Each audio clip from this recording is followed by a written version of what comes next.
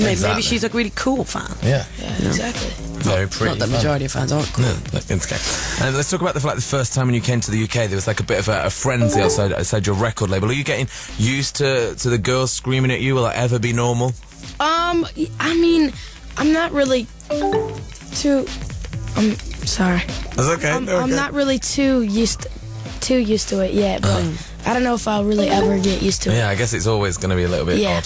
So what what are you doing for um what are you doing for school?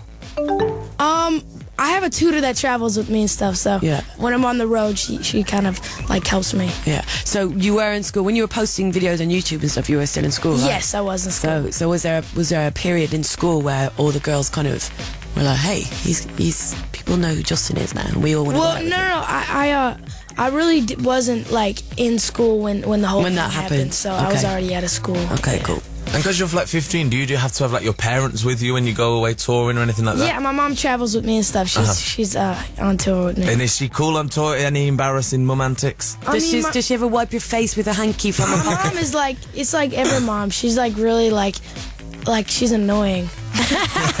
At 15, Especially when you're 15. moms are yeah, annoying. yeah, so. absolutely. But yeah, especially when you're with her 24 seven. Yeah. that's- But I love her to death. That's good. Good answer, right there. Good Yeah. answer.